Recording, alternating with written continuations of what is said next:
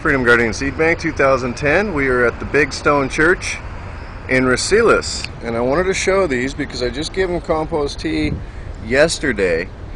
And we're starting to see a little bit of recovery. You can tell that these were starting to get hurt a little bit.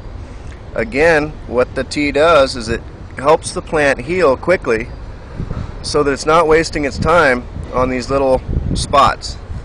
Again, I put it on the red shrub here. I put it on these.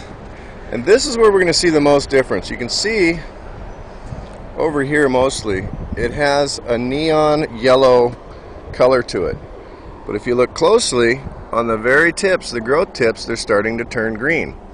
That is the nutrient solution or the compost tea going to work. So all the new growth tips are going to be a bright lime green. What this stuff does, it really doesn't fertilize anything. It works with the fertilizer that's already in the soil, breaks it down, and makes what's already there available to the plant. So I'm not really putting any fertilizer into the soil. What I'm doing is putting beneficial bacteria and bugs into the soil that make use of the fertilizer that's already in there. So anyway, I'm going to keep an eye on these shrubs. You can see they're standing straight up and they're very perky.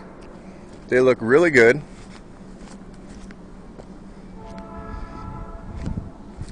Here's another one.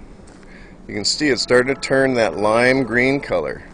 I'm going to go around and show the ones on the front or the side of the church. you can see there's a big dead spot. That's a disease.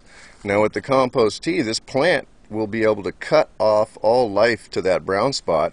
It'll disintegrate and disappear. Whereas it's starting already down in here. This growth in here is all brand new. And it has a bluish sheen to it. So it's supposed to look rather than kind of the strawn out weak growth. So there's that shrub, and this is my favorite one right by the front door.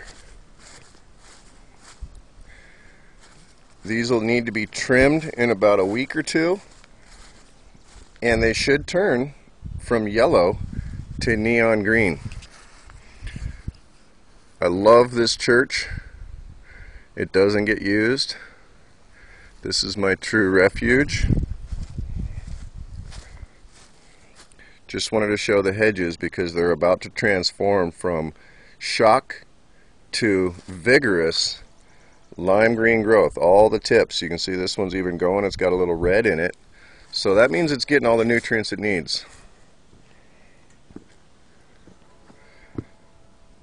I've been here. I wanted to show you this. Beans, squash, corn, and a check for $10 million for Farm Aid from God. Thanks.